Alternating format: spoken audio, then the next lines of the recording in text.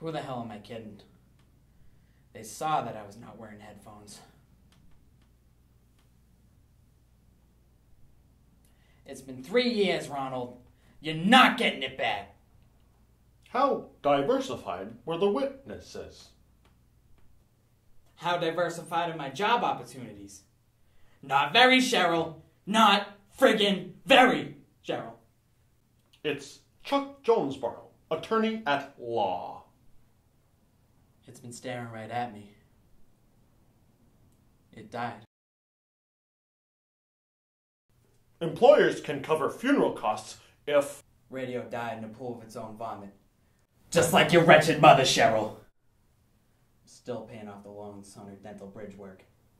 if you've been a victim of fraud, take right on. Yeah, why bother taking care of myself? But you had it hard, lady. Oh, so hard. It's Wagant Street, behind triple decker number 12. My office is the shed in the back. Don't mind the neighbors, she throws raw hamburger meat. Podcasting is the future. What a car wreck, am I right? Did that stupid voice for nothing. Listen, you need legal representation to traverse the swamp of the legal system, and I'm that lawyer that can. Say, has anybody ever told you you got one of them legitimate lawyer faces? Well, as they say in law art school, pass the bar, get a face. Ha ha ha ha ha ha ha ha ha ha ha. Get your turkey fingers off the grub. That meat is none of your concern. We've negotiated a non-disclosure regarding raw hamburger meat abutting my law firm. You moseyed on in and took refuge behind in a garden shed.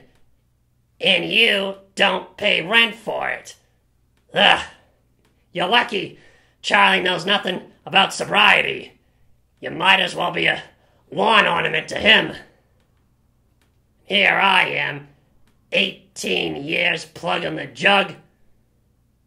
And I'm in a freaking bar! That's been established, though your refusal. I'll refuse you right into the Atlantic. Oh, no! Stop! Stop! Oh, oh, oh, oh, oh.